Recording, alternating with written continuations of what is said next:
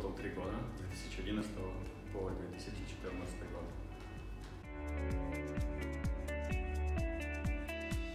Совместная командировка в Нью-Йорк.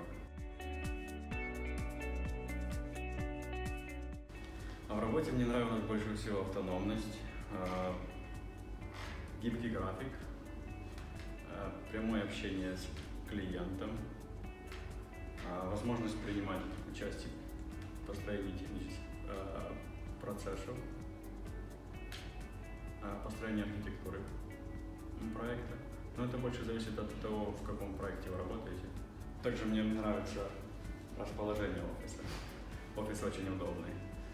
Шикарный вид из окон открывается. Все под рукой. В плане технологий много. Когда я пришел сюда, я перешел полностью на новый стек технологий. Научил английскому. Поскольку у меня было прямое общение с клиентом, то сразу приходилось общаться.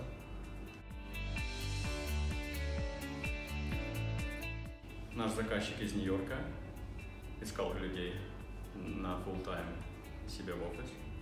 И он, перед тем, как я пришел, один, один парень уехал туда, там работал. И мне предложили, Константин был не против, наоборот, способствовал этому. И так я переехал и работаю там. Я намного ближе нахожусь к непосредственным заказчикам, к нашим клиентам нашего проекта и приходится общаться с ними, приходится общаться с, с техподдержкой напрямую. Намного больше общения, а, тогда как, когда я работал в я, я работал, мог сфокусироваться только на разработке.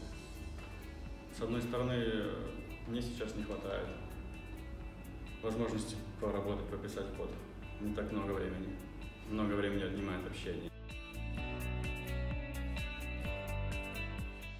У Redwerk было больше тимбилдинга, каких-то совместных событий, чем в текущей компании.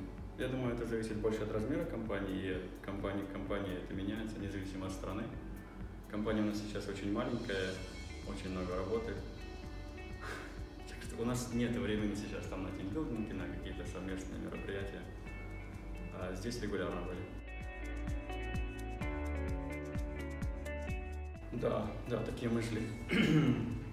у меня есть. И, возможно, они когда-то воплотятся.